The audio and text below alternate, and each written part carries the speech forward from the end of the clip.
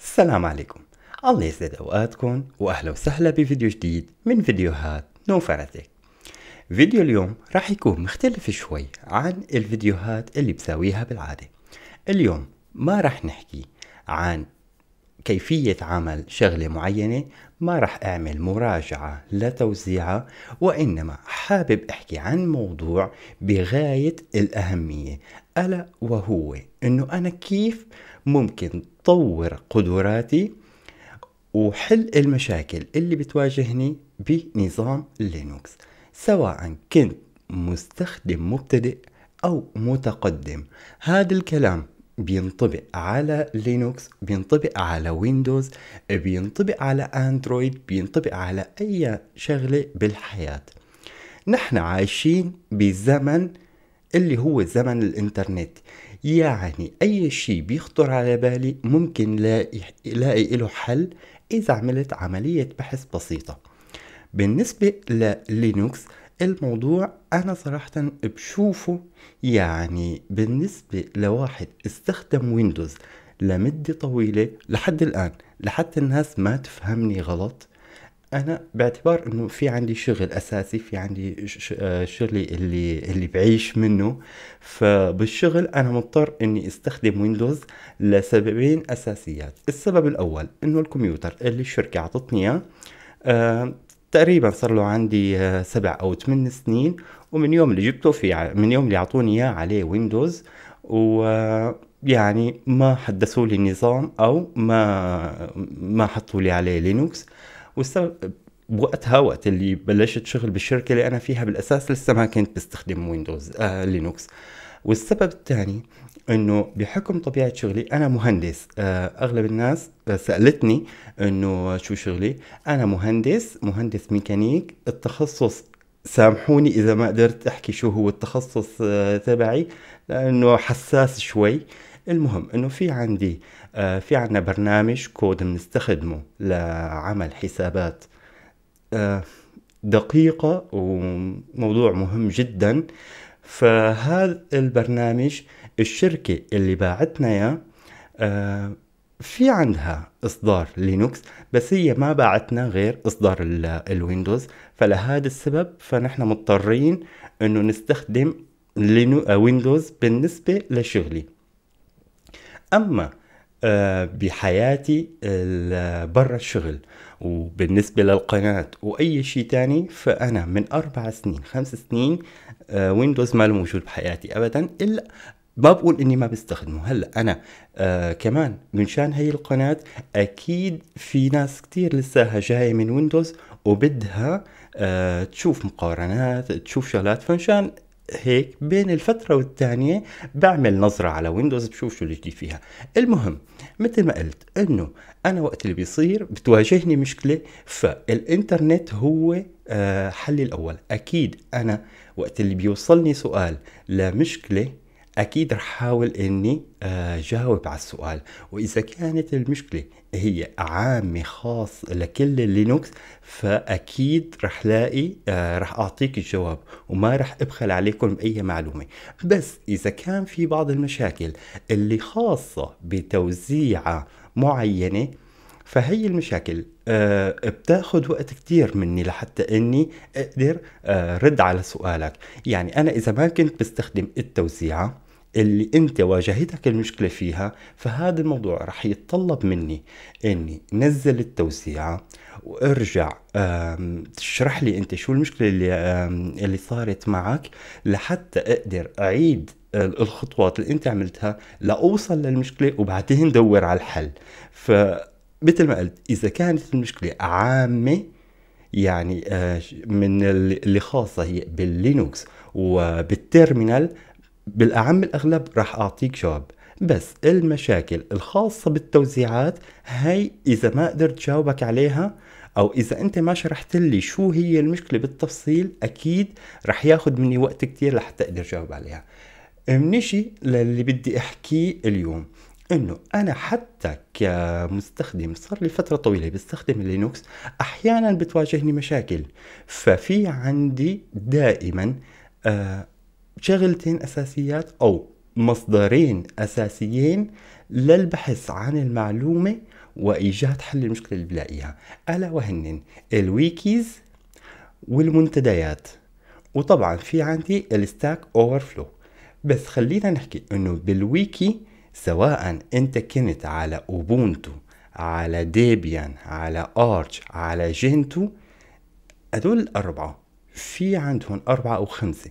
هدول التوزيعات في عندهم ويكي يعتبر من أفضل مصادر المعلومات ودائما آه للأسف على منتديات آه على منتديات Arch آه وقت اللي أنت كمستخدم جديد أو آه لنقول ايا يكن مستخدم جديد أو متقدم بس بتروح للمنتدى وبتحط مشكلة حلها بيكون بسيط فأنت رح تلاقي آه اللي رح يجاوبوك إذا جاوبوك رح يكون الجواب يعني غير لبق وعدواني نوعا ما بيقولوا لك RTFM اللي هي read the F word manual ف مشان هيك أنت أول شيء لازم تروح للويكي. إذا ما لقيت حل مشكلتك بالويكي. بعدين ممكن إنك تفتح موضوع جديد بالمنتدى. بالنسبة لأوبونتو الوضع أحسن بكتير لأن ال community أو المجتمع أوبونتو أكبر بكتير من مجتمع ارش بس منتدى منتديات ارش أنا بلاقيها أفضل لأنه تقنية و technical أكثر من من أوبونتو. خليني أحكي عن مشكلتين واجهوني إلي شخصيا واضطريت إني إني روح للمنتديات لأنه ما لقيت حل لهي المشاكل لا بالويكي لا بالارش لا بالأوبونتو لا على Stack Overflow ولا بأي مكان تاني. جوجل ما أعطاني أي حل.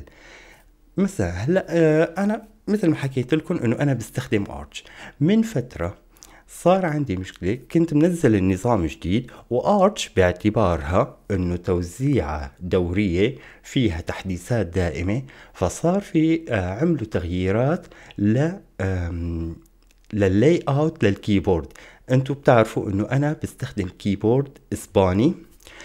آه صار في عندي مشكلة إنه زر الإشارة الأكبر والأصغر على أوت الإسبانية ما عادوا اشتغلوا. وقت اللي بحاول إني أحط إشارة أكبر أو أصغر بيطلع عندي رمز تاني.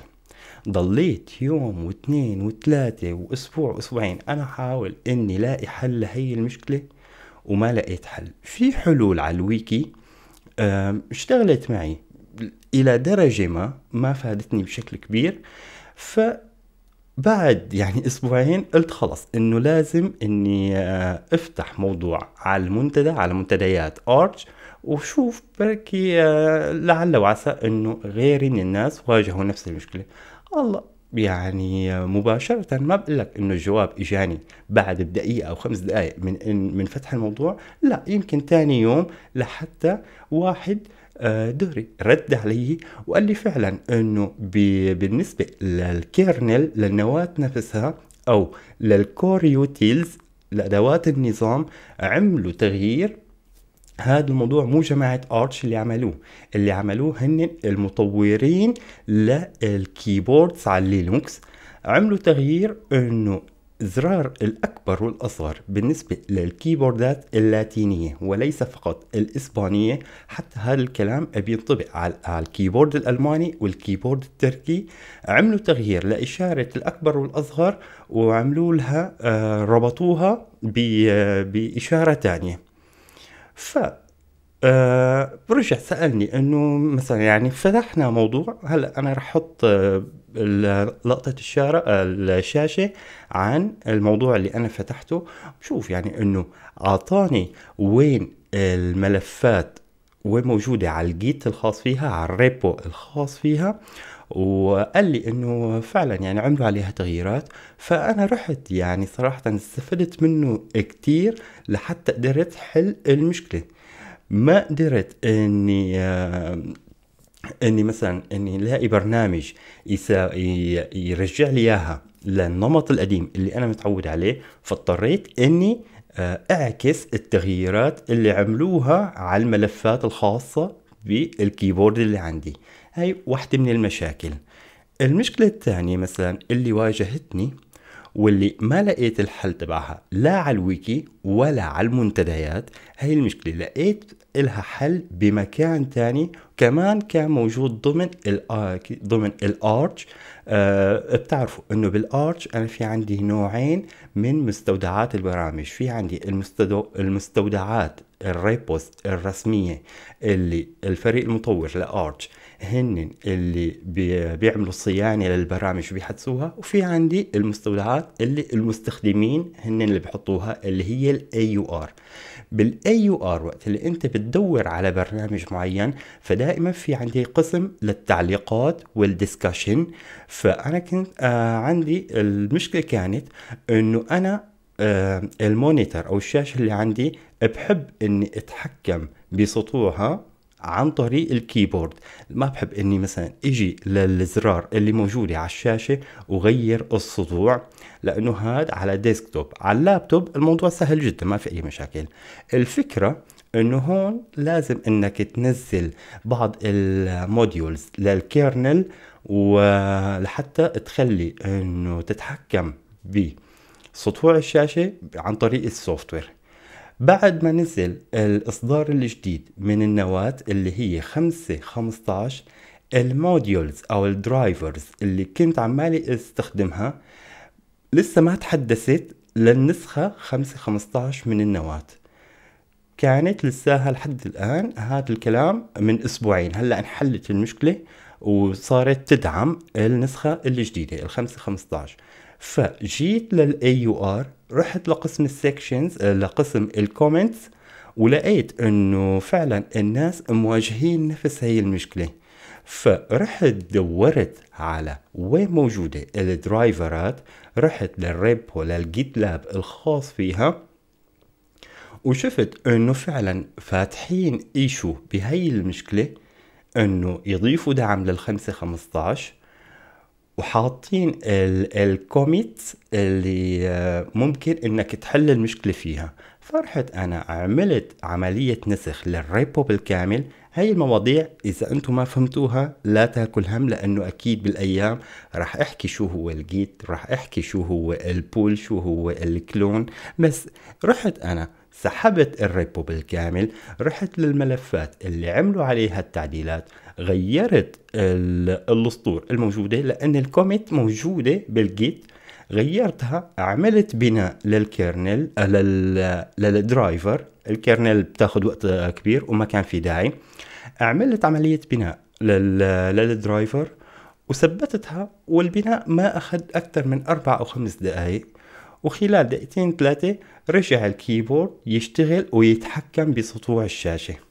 فالمهم مثل ما قلت اللي بدي إياك تحطه ببالك إنه أنت سواء كنت على ويندوز على لينكس أو أي نظام تشغيل كان وبتواجهك مشكلة فلا تخاف. إذا أنا ما قدرت جاوبك دائما روح للويكي إذا كان التوزيع اللي أنت بتشتغل عليها في إلها ويكي وحتى لو ما إلها ال Arch wiki لا يعلى عليه. دائما رح تلاقي شرح مفصل لكل المشاكل اللي بتواجهك كيف آه، بتطور خبراتك. بالنسبة لل Ubuntu نفس الشيء الويكي ممتاز مع إني ما بستخدمه كتير. ويكي ديبيان ممتاز كمان. المنتديات هي المكان الثاني اللي بتدور عليه. وأنا بإذن الله بإذن الله أي سؤال بيوصلني رح حاول إني جاوب عليه. بس بدكم تعذروني. إذا كان سؤال خاص بتوزيعه وأنا ما عندي إياها فممكن إما إني ما رد عليك رجاء اعذروني أو إنه يتأخر الرد. هاد كل شي حبيت إنه أحكيه بفيديو اليوم. هو فيديو قصير فبتمنى إنكم تستفيدوا ودائما تحاولوا تطوروا خبراتكم. بتمنى بيوم من الأيام إنه نقدر نعمل منتدى نعمل صفحة آه، نعمل موقع لنا يكون آه، باللغة العربية ونغني الإنترنت بمستخدمين لينوكس عرب ونتبادل الخبرات. لا تنسوا الاشتراك بالقناة لغير المشتركين. المشتركين أهلا وسهلا فيكم على طول. بفضلكم أكيد القناة رح تكبر ونوصل للهدف الأسمى اللي بدي إياه أنا من القناة وهو إنه يكون في عنا مجتمع لينوكس عربي. لا تنسوا ضغط زر الإعجاب إذا عجبكم الفيديو. بلتقي فيكم بالفيديو الجاي. بأمان الله.